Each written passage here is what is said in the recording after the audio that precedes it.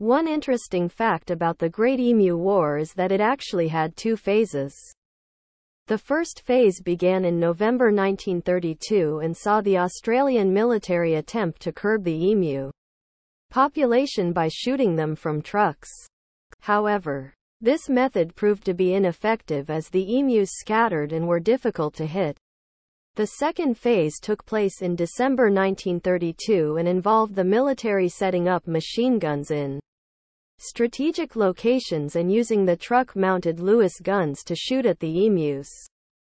Despite the increased firepower, the emus still proved to be elusive and only a small number were killed during the entire campaign.